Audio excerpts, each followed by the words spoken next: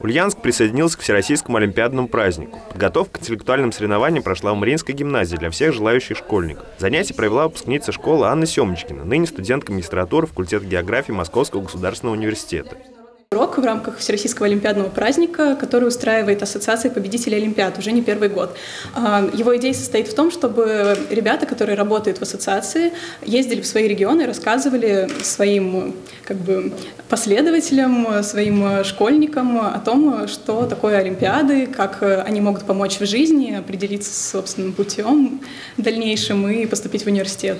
На счету Анны Семочкина участие во многих Олимпиадах. Она начала принимать в них участие с шестого класса. Занимала призовые места на региональных и федеральных Олимпиадах. В школьные годы Анна Семочкина участвовала в Олимпиадах по географии, русскому языку, краеведению и МХК. В 11 классе школьница заняла первое место в межпредметной Олимпиаде Ломоносов, проводящейся Московским государственным университетом. Победа помогла поступить в один из ведущих вузов страны. Всероссийские олимпиадные праздники уже прошли в Татарстане, Тверской, Тульской, Липецкой областях и ряде других регионов страны. Егор Титов, Данил Сурков, Новости Улправда ТВ.